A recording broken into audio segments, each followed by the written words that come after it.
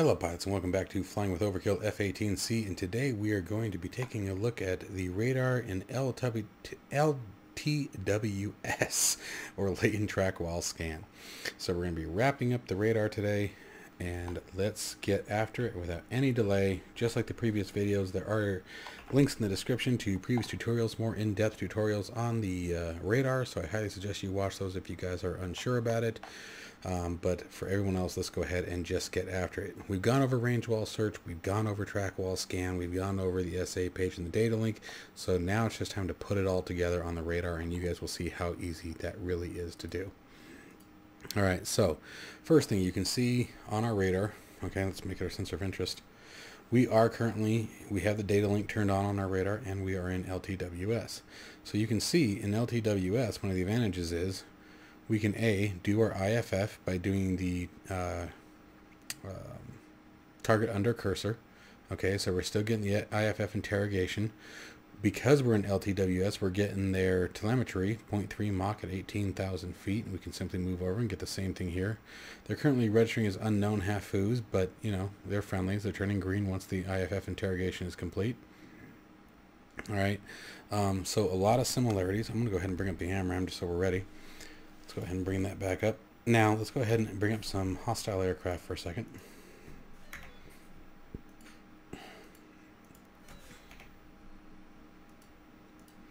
This is really a lot shorter of a tutorial than you think, so up here we have our RWR contacts coming from the data link um, and the um, MSI page is what this is, or the MSI information. That's the data link information. We turn that off and it goes away. All right.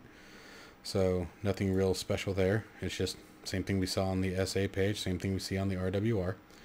But so now we have a few other contacts coming up in the air and boom, now we've done an IFF interrogation, identified this guy as a hostile. So what we can do here is there. Now he's deemed as our LNS. And so I think the biggest thing with track while scan is, or latent track while scan, is it tells you when to switch modes. I, I think is the biggest advantage to it. You know, um, I don't ever really try to engage in track while or in latent track while scan unless I'm doing single target track. Um, if I want to do TWS, I want my TWS options because if you notice, we don't have our EXP, we don't have the zoom, we don't have the RAID uh, button. Um, so there are some hindrances to being in the range while search and using the latent track while scan.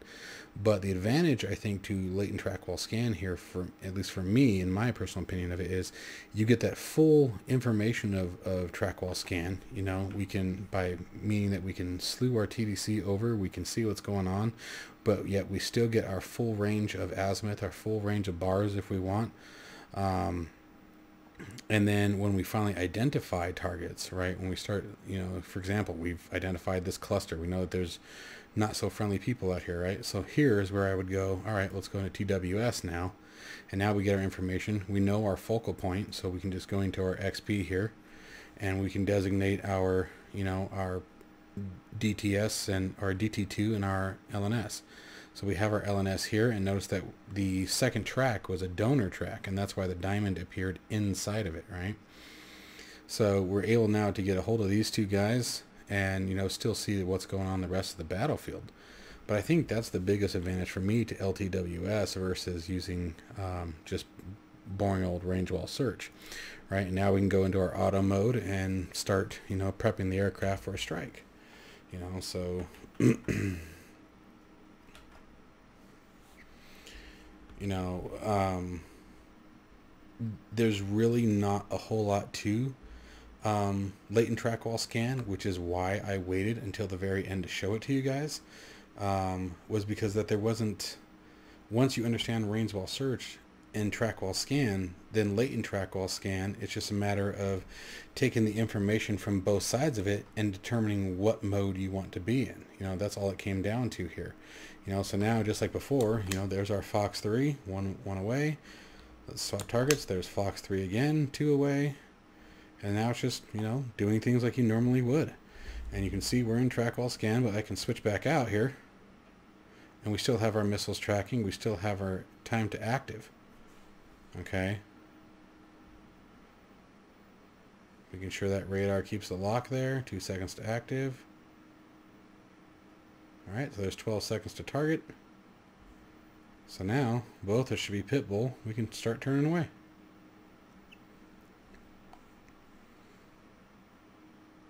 But there really isn't a whole lot you have to worry about with TWS. There are, or LTWS, there are a few restrictions that you couldn't do in uh, the other modes, right? All right, yep, there's two down. So like I said, you don't have your EXP and you don't have your raid buttons when you're in the um, uh, latent track while scan. When you lock a target, okay, if we pick a target here, like let's try to come back around here for a second. And let's do a donor here. There we go. Boom. So we got, got that guy locked up. All right. Anytime you lock a target in range while search, you still go into single target track. Okay. So that that's important to remember. Um, so you, you, can't employ multiple weapons while in range while search with latent track while scan. You have to switch into TWS if you want to do the multiple launches. But we had all that same information that we had before. Now we just turn Fox 3, one away. Oh, that might have been my fault. I think I lost contact with the radar. Oh, no, it looks like I picked it up.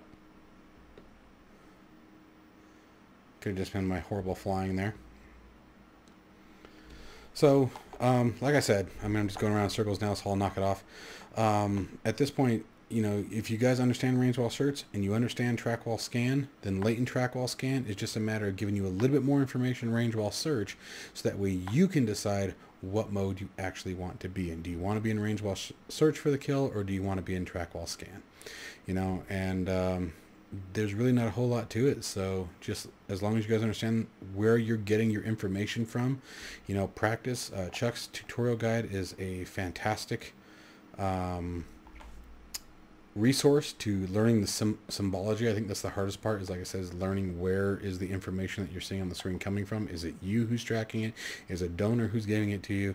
And I'll tell you pages 308 and 309 of his tutorial guide for the F-18C, um, and I'll put a link for it in the description below, um, is where you'll find all of the symbology information so that way you guys can have a visual reference, you know, as you're flying around um, as far as what you're looking at.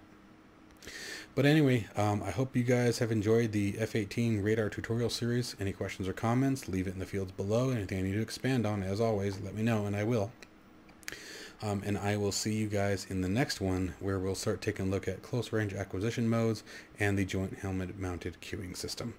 All right, guys, have a good night. Bye-bye.